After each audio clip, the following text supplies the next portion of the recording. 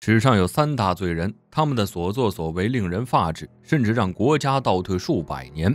最后一位更是人人喊打。那他们分别是谁？又做过哪些事？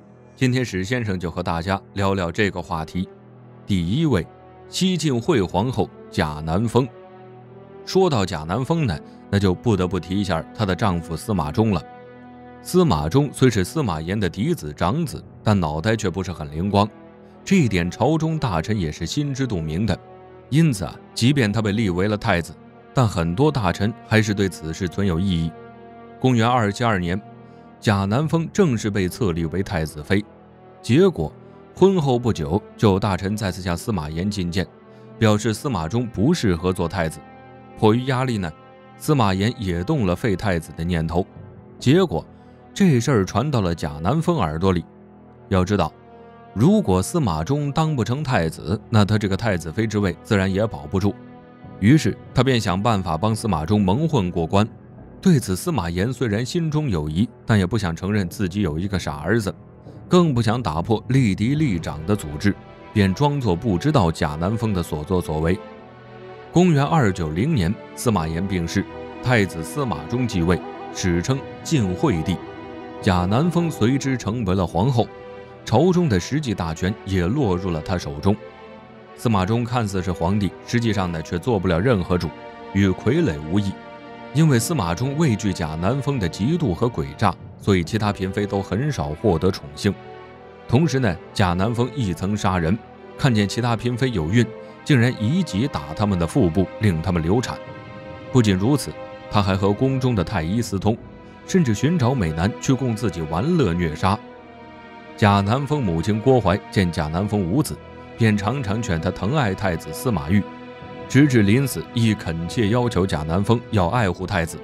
但贾南风不听，与冲华、赵粲和妹妹贾武一同谋害太子，并以谋反之名废掉了司马昱的太子之位。由于当时司马昱在民间的威望很高，所以他被废后，民间怨气很大，不少人称贾南风为妖后。甚至还表示要废掉贾南风，而让司马懿复位。对此，贾南风也是十分恐惧。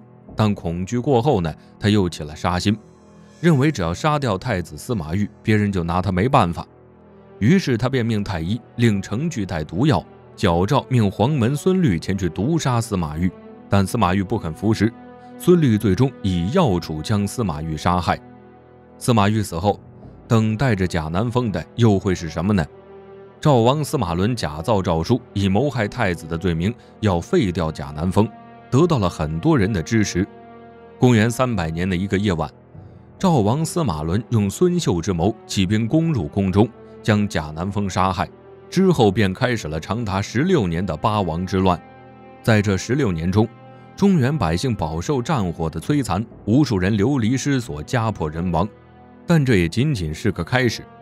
八王之乱让北方的少数民族看到了机会，于是大量外族侵入中原，开始了五胡乱华，中原大地一片战火。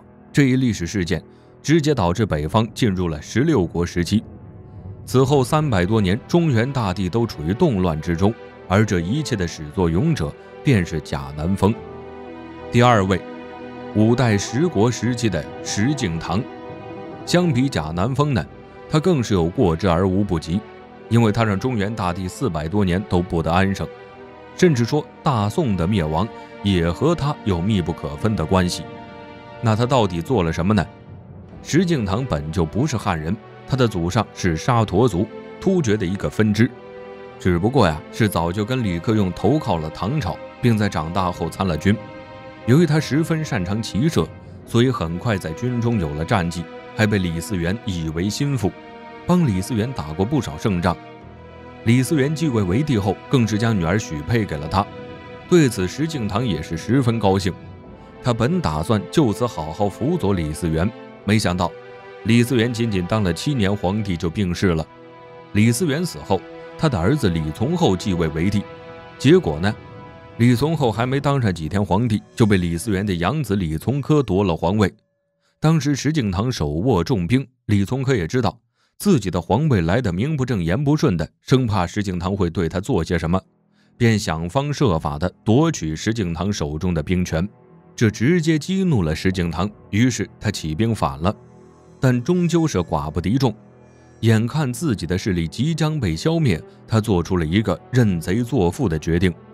他向辽太宗表示愿意称臣于契丹，并答应向耶律德光行父子之礼，而且在事成之后，把雁门关以北十六州的土地献于契丹。当时石敬瑭四十五岁，耶律德光只有三十四岁，历史上赫赫有名的儿皇帝就此诞生。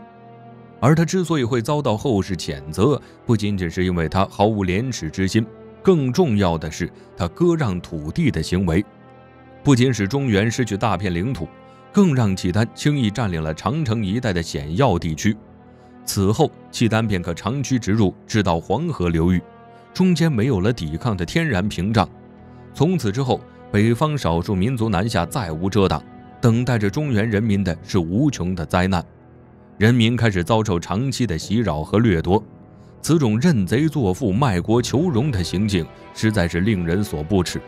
而他带给中原百姓的灾难也是长久且持续的，甚至到了两宋时期，数百年间都在为了收复燕云十六州而努力，但终究还是无功而返，最终走向了灭亡。除了贾南风和石敬瑭，还有一位罪人是谁呢？他便是人人喊打的慈禧，他的所作所为更是遗臭万年，时至今日仍旧令人发指。而他本人更是死不足惜，一切还得从1850年说起。这一年，咸丰皇帝登基了。虽然此时的大清已是日薄西山，但他还是在尽心尽力地挽救祖上基业。年仅二十岁的他整顿军事处，惩治贪腐，一切好像还算说得过去。但是随着时间的推移，他的身体逐渐亏空，卧病在床的时间越来越长，有时候啊，甚至连批奏折的力气都没有。此时还是懿贵妃的慈禧站了出来。原本后宫参政是大事儿，可是咸丰都到了这个份上，他也没办法阻拦懿贵妃。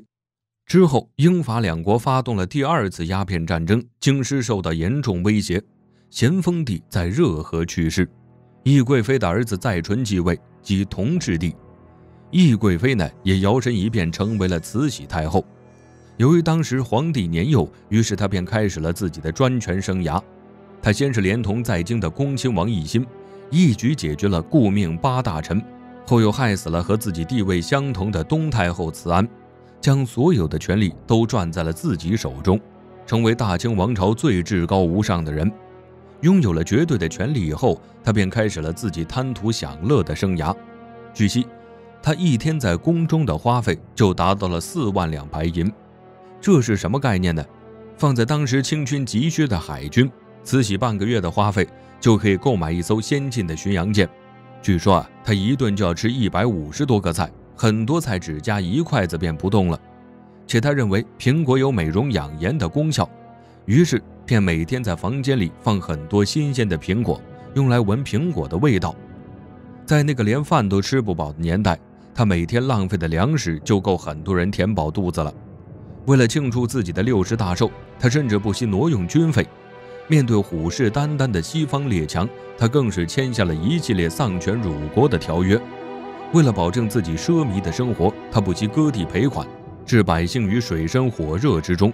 他的罪孽简直罄竹难书，他前后掌晚清政权四十七年，给百姓带来了无尽的灾难，用遗臭万年来形容他也绝不为过。